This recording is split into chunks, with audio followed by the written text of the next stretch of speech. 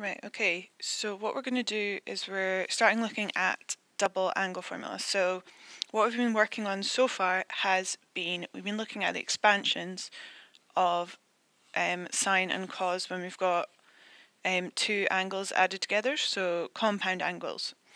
And from those compound angles we can move on to the, the double angle formula. They're on the screen already, you've got sine 2a equals 2 sine a cos a and you've got cos 2a equals cos squared a minus sine squared a. Cos 2a also has two other variants that we can get, which are 2 cos squared a minus 1, or 1 minus 2 sine squared a.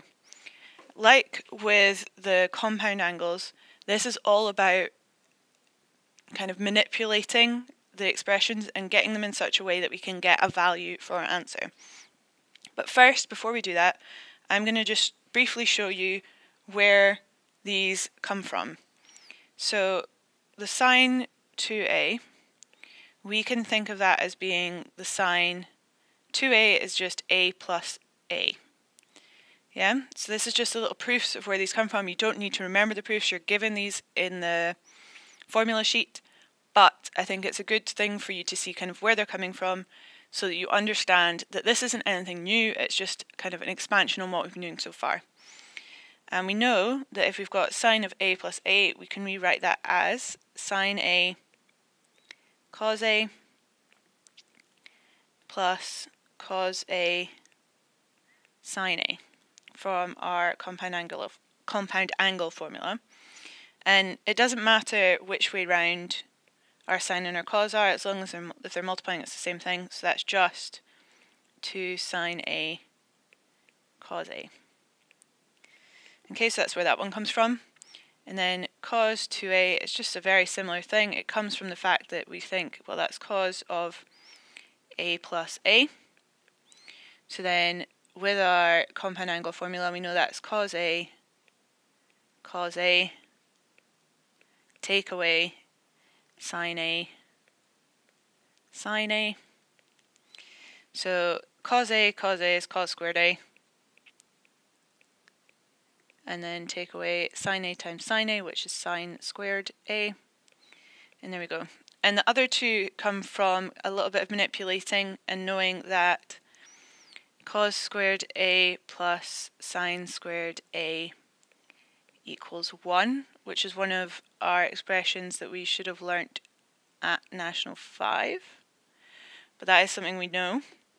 And you can just kind of rearrange that and substitute it in and it gives you your two other values for cos 2a, which can be really helpful because sometimes you only want one of the two um, symbols. You don't need them both. You don't want both cos and sine. You just want one or the other. Right, so I'm going to go on to do some examples using these, and that'll be us for the double angle formula. Right, so for our first example, leaving the formulas up there for us to help, we're going to find the exact value of sine 2x, or 2 theta even, where theta is an acute angle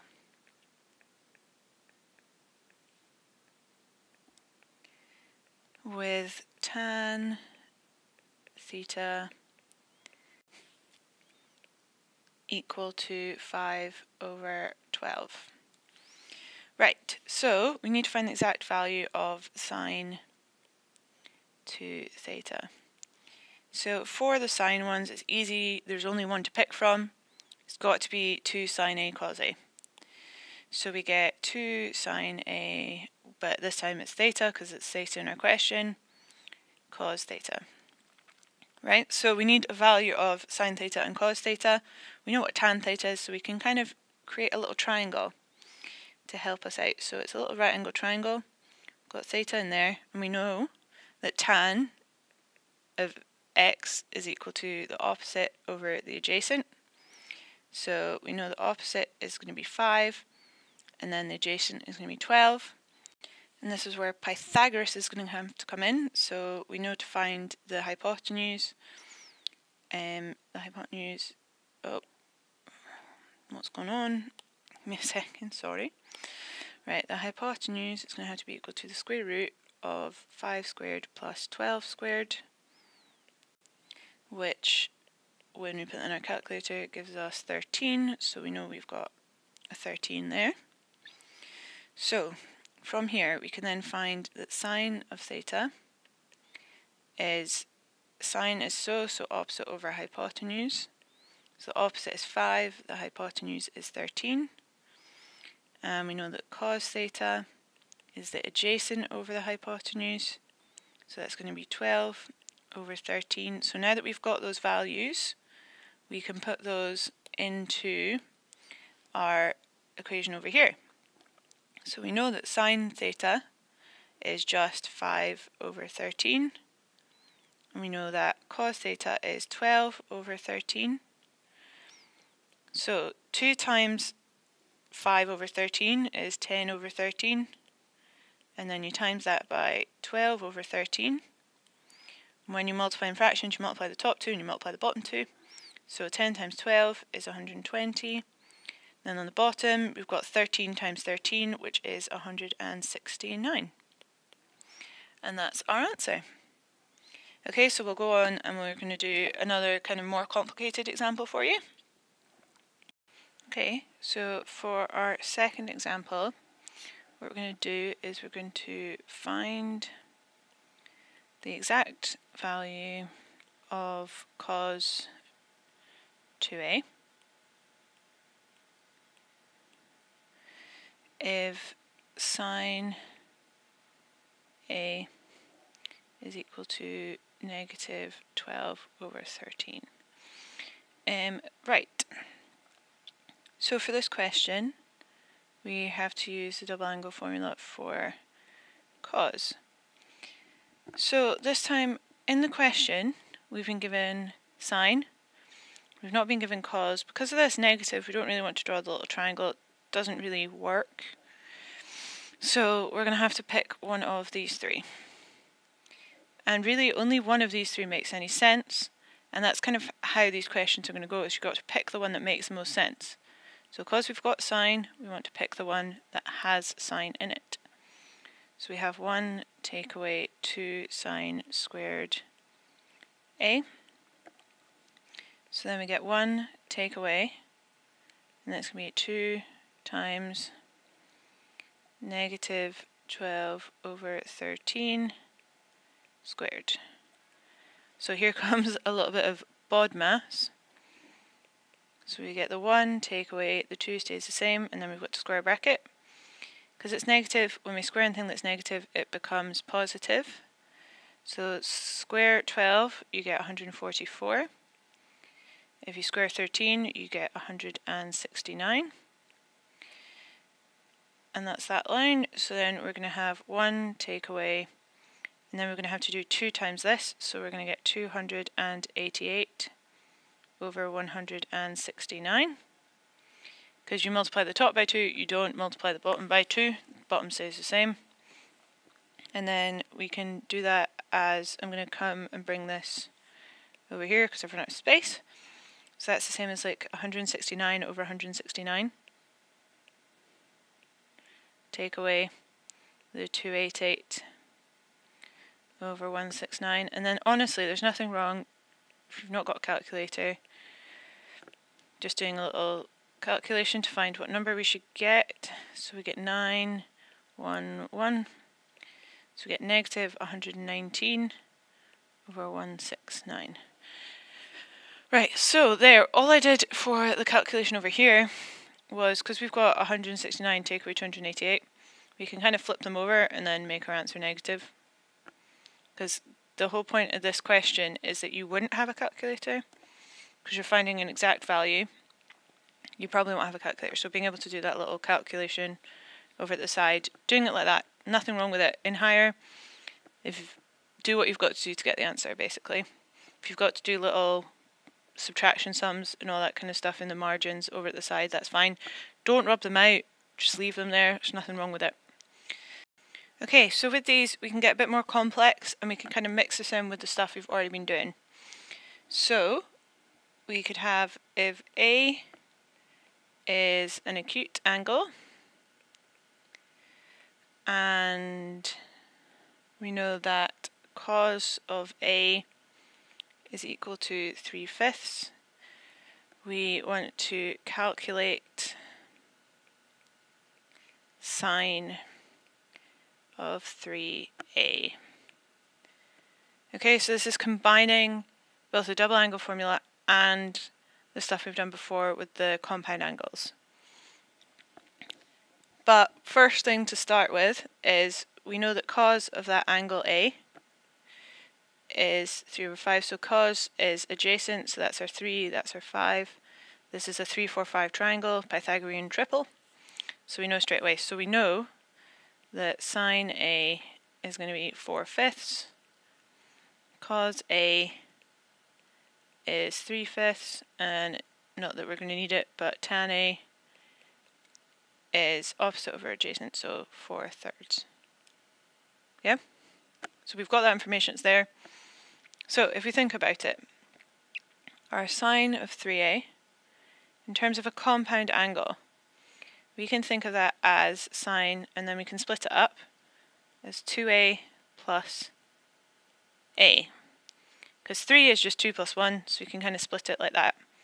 So then we can think of that as being, we can kind of do our long thing, so it's sine 2a cos a plus, and then it's going to be cos of 2a sine of a. Just from our general formula before that we know, which I'll put up here as a wee reminder. So a plus b is equal to sine A cos B plus cos A sine B. So that's all I did there. But instead of having A and B, you've got 2A and A. So, we know some of these values, but we don't know all of them yet.